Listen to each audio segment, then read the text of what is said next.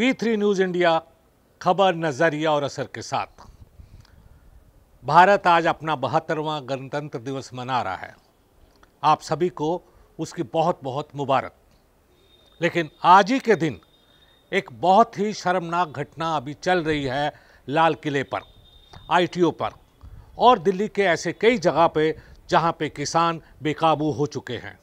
Police की बारकेडिंग तोड़ दी है, पुलिस लाचार है और किसान हर तरह, हर तरफ़ जहाँ अपनी मर्ज़ी आती है, वहाँ पे जा रहे हैं, घूम रहे हैं, आरजकता फैला रहे हैं और पुलिस मौन बैठी है। क्या यही गणतंत्र हम लोग देखना चाहते हैं? कृषि कानून के खिलाफ पिछले दो महीनों में आंदोलन कर रहे किसान दिल्ली में ट्रैक्टर ट्रॉली निकाल रहे हैं। सिंगू टीकरी और गाजीपुर बॉर्डर पर किसान पुलिस की बैरिकेडिंग तोड़कर दिल्ली की सीमा में दाखिल हो गए। उसके साथ साथ ही आईटीओ पर काफ़ी बवाल मचा हुआ है। किसानों के पथराव के बाद कई पुलिसकर्मी घायल हो गए हैं। कृषि कानूनों के खिलाफ ट्रैक्टर, ट्रॉली निकाल रहे किसान लाल किला पहुँच गए। किसानों ने लाल किले पर झंडा फहराया। किसानों के विरोध प्रदर्शन के बाद दिलशाद गार्डन में ड्यूटी पर दिल्ली पुलिस का एक जवान बेहोश होकर गिर पड़ा। किसान आंदोलन से जुड़े बड़े बड़े नेताओं के बयान आ रहे हैं। उन्होंने कहा कि हमने प्रदर्शनकारी किसानों को तयशुदा रूट पे ही जाने के लिए बोला है।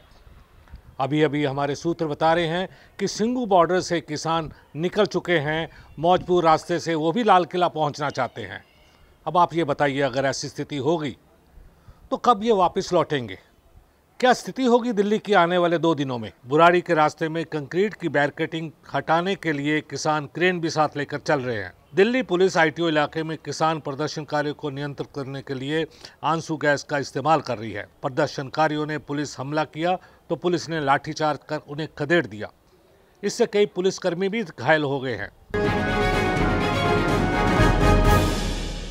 तो देखा आपने, एक जगह एक ट्रैक्टर पलट गया और एक किसान की मौत हो गई। कई जगह आँसू गैस में परेशान होकर किसान इधर उधर दौड़ रहे हैं। लेकिन क्या ये आज के गणतंत्र दिवस के लिए ठीक है? कैमरामैन रजनीश के साथ मैं Devendra Chopra V three news पर।